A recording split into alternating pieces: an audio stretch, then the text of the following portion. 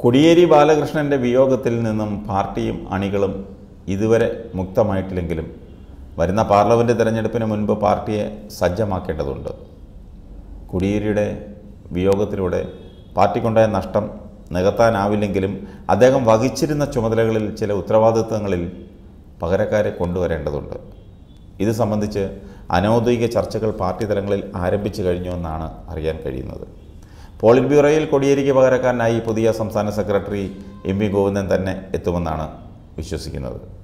ഇക്കാര്യത്തിൽ രണ്ടഭിപ്രായം ആർക്കുമില്ല. അത് പാർട്ടി തീരുമാനമനുസരിച്ച് അതുണ്ടാകും.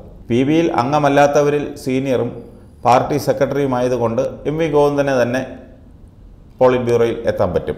ഇത് സംബന്ധിച്ച് കേന്ദ്ര കമ്മിറ്റിയും പോളിറ്റ് ബ്യൂറോയും വരുന്ന ദിവസങ്ങളിൽ തന്നെ അതിനൊരു തീരുമാനമെടുക്കും.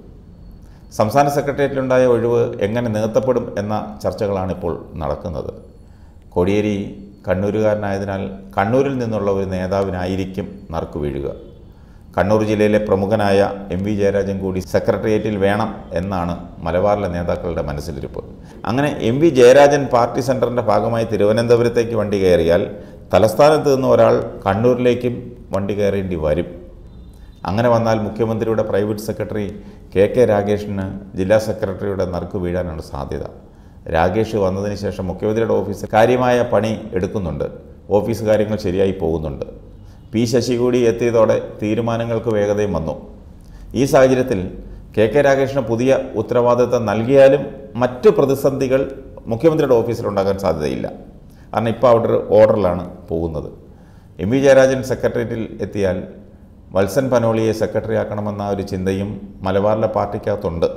തിരുവനന്തപുരത്ത് ആനാവൂർ നാഗപ്പൻ ജില്ലാ സെക്രട്ടറി പദവി കൂടി വഹിക്കുന്നത് പോലെ ജില്ലാ സെക്രട്ടറി സ്ഥാനവും എം വി ജയരാജൻ തന്നെ വഹിക്കട്ടെ എന്ന അഭിപ്രായക്കാരും മലബാറിലെ പാർട്ടിക്കുള്ളിലുണ്ട്. സെക്രട്ടേറിയറ്റ് ചുമതല വഹിച്ചുകൊണ്ട് കണ്ണൂരിലെ പാർട്ടിയെ നയിക്കുക എന്നത് അപ്രായോഗികമാണ്. അടുത്തു ചേർന്ന സംസ്ഥാന സെക്രട്ടേറിയറ്റ് യോഗവും സംസ്ഥാന സമിതിയും പുതിയ സംസ്ഥാന സെക്രട്ടേറിയറ്റ് അംഗത്തിന്റെ കാര്യം ഔദ്യോഗികമായി ചർച്ച ചെയ്യുമെന്നാണ് ലഭിക്കുന്ന വിവരം. എം വി ജയരാജൻ കണ്ണൂർ ജില്ലയിലെ പെരളശ്ശേരി സ്വദേശിയാണ്. കണ്ണൂർ ജില്ലയിലെ എടക്കാട് മണ്ഡലത്തിൽ നിന്നും നിയമസഭയിലേക്ക് തിരഞ്ഞെടുക്കപ്പെട്ടിട്ടുണ്ട്.